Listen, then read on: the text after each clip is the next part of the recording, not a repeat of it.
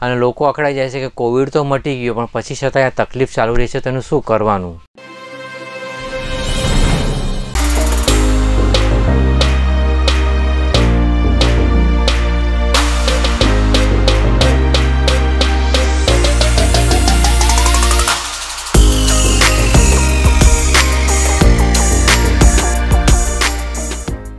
નમસ્કાર દર્શક મિત્રો. ખબર છે ડોટ કોમ પર હું વૈદ્ય જાગૃત પટેલ આયુર્વેદ કન્સલ્ટન્ટ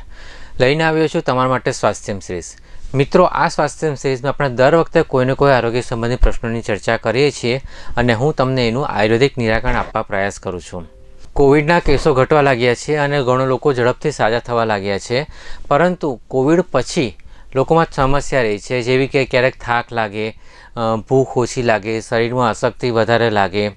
શ્વાસ લેવામાં તકલીફ પડે અથવા બહુ ઊંડો શ્વાસ ન લઈ શકે છાતીમાં દુખાવો થાય બહુ લાંબો ટાઈમ સુધી ખાંસી ચાલુ રહે અથવા તો બોલવામાં તકલીફ થાય ઘણી વખત રાત્રે ઊંઘમાં પણ ડિસ્ટર્બન્સ રહે ઊંઘ બરાબર ન આવે એ ઉપરાંત મસ્ક્યુલર પેઇન રહે સાંધામાં દુખાવો રહે સાંધામાં સ્નાયુઓમાં દુખાવો રહે તો આવી કંઈ ને કંઈ તકલીફ ચાલતી રહી છે અને લોકો અકળાઈ જાય છે કે કોવિડ તો મટી ગયો પણ પછી છતાંય આ તકલીફ ચાલુ રહી છે તેનું શું કરવાનું મિત્રો, આયુર્વેદની દ્રષ્ટિએ વાત કરું તો કોવિડ પછી જે બધી સમસ્યા થાય છે, એ વાયુ અને કફના લક્ષણ ગણી શકાય. એક બાજુ અપચો છે કે ભૂખ ઓછી લાગે છે પાચન શક્તિ ઓછી થઈ ગઈ છે અને સાથે બધા સિમ્ટમ્સ ચાલુ થઈ ગયા હોય છે એટલે એમ જોઈએ તો જે વાયુ કફની વિકૃતિ છે એ તેને ત્યાં જ છે કોવિડ નેગેટિવ થઈ ગયું મતલબ જે વાયરસનું ઇન્ફેક્શન લાગ્યું હતું એ ઇન્ફેક્શન નેગેટિવ થઈ ગયું પણ શરીરમાં જે વાયુ અને કફના લક્ષણ હતા એ હજુ ત્યાંના ત્યાં જ બેઠા છે એને કાઢવા જરૂરી છે તો જો આપણે વાયુ અને કફને કન્સિડર કરીને અને પાચન શક્તિ વધારવાના ધ્યેય સાથે જો પરેજી પાડીએ અથવા તો કંઈ ટ્રીટમેન્ટ કરીએ તો આ રોગમાંથી અથવા આ સિમ્ટમ્સમાંથી ઝડપથી બહાર આવી શકીએ જે રીતે કીધું વાયુ કફમાં તો મિત્રો વાયુ કફ માટે જે દર વખતે હું તમને ઉપાય બતાવું છું તે જ છે કે ગરમ પાણી પીવો હુંફાળું ગરમ પાણી પીશો તો શરીરમાંથી કફ અને વાયુ બંને નીકળી જશે આયુર્વેદમાં ચરક સંહિતામાં કહેવામાં આવ્યું છે કે સ્નેહ અજીર્ણમ જરયતી શ્લેષ્માણમ ભિન્નતી ચ મારુતસ્યનું નૌમ્યમ ચ કુર્યાદ ઉષ્ણોદકમ ધૃણામ ઉષ્ણોદક એટલે ગરમ પાણી શું કરે છે સ્નેહ અજીર્ણમ જરયતી ગીતલ જેવી ચિકાસવાળી વસ્તુ પચવામાં ભારે હોય છે તો એને પચાવી દે અજીર્ણ એટલે કે અપચો એ અપચોય પચાવી દે પોસ્ટ કોવિડમાં જે આપણે જોયું છે કે ક્યારેક ભૂખ ઓછી લાગે છે ને અપચો રહે છે ને એને કારણે અશક્તિ રહે છે તો એ અપચો દૂર થઈ જાય અને ભૂખ સારી ઉગડે તો એનાથી વધારે રોડું શું એટલે ગરમ પાણી પી શકો. તમે ગરમ પાણી પીઓ તેનાથી અપચો થાય છે. શ્લેષ્માણમ ભિન્નતી છે કફ જે જામેલો છે, કફને તોડીને બહાર કાઢે છે. એટલે ઘણી વાર જે પેલી સૂકી ખાંસી રહે છે અથવા શ્વાસ લેવામાં તકલીફ થાય છે, તો એ કફને જે કન્જેશન હોય, એ કફને કન્જેશન છૂટું પાડે છે. મારું તસ્યાનું લોમિયમ છે વાયુ જ્યારે અવળો ચડે છે, શરીરમાં વાયુની કુદરતી ગતિ જ્યારે બદલાઈ જાય છે અને વિકૃત દિશામાં જાય છે, તો એ કન્ડિશનમાં સ્વાદનો ખ્યાલ ન આવે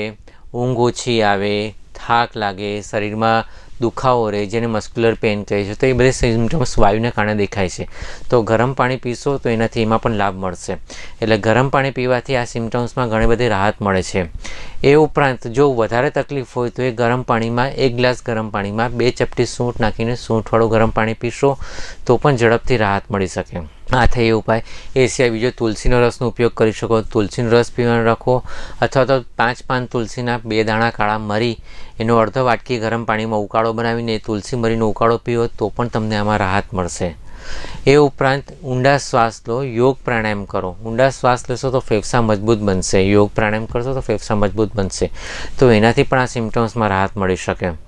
તો મિત્રો, આવા ઘણા નાના નાના ઉપાય છે. હળદરનું ગાળેલું ગરમ પાણી પી શકો. હળદરના પાણીથી પણ રાહત થાય. તો આવા નાના નાના પ્રયોગ છે જે કરવાથી તમને રાહત થાય. બીજો મિત્રો, એક બીજું પણ છે કે કસરત કરો. નો ડાઉટ વીકનેસ વધારે છે, અશક્તિ વધારે લાગે છે, પણ ધીરે ધીરે તમે કસરત ચાલુ કરો. તમારા સ્નાયુઓ ફરીથી નવો ડેવલપ થાય, શરીરમાં નવી એનર્જી આવે, તો રોગ કાયમી રીતે મટી જાય છે અને એને કોઈ સિમ્ટમ્સ કે કોમ્પ્લિકેશન જોવા મળતા નથી તો બસ મિત્રો આટલું જ છે થોડી નાની નાની બાબતની સાવધાની રાખશો અને નાના નાના પ્રયોગ કરશો તો તમે આ રોગમાંથી ઝડપથી બહાર આવી શકશો અને પુનઃ આરોગ્ય પ્રાપ્તિ મેળવી શકશો જે આયુર્વેદનો મુખ્ય ઉદ્દેશ્ય છે કે પ્રકૃતિ સ્થાપનમ એવા ચિકિત્સા એટલે મતલબ કે વ્યક્તિની જે પેલા મૂળ પ્રકૃતિ હતી મૂળ પ્રકૃતિ જો વ્યક્તિ અહીં આવી જાય એ ચિકિત્સાનો ઉદ્દેશ છે એટલે ફક્ત રિપોર્ટ નેગેટિવ થાવ એટલું જરૂરી નથી એ ઉપરાંત તમારે પહેલાં જેવું સ્વાસ્થ્ય મળી જાય એ પણ આયુર્વેદનો ઉદ્દેશ્ય છે તો તમે આયુર્વેદના આવા પ્રયોગોથી તમે પુનઃ સ્વાસ્થ્ય પ્રાપ્ત કરી શકશો બસ મિત્રો એટલું જ આયુર્વેદને અનુસરો આજીવન સ્વસ્થ રહો નમસ્કાર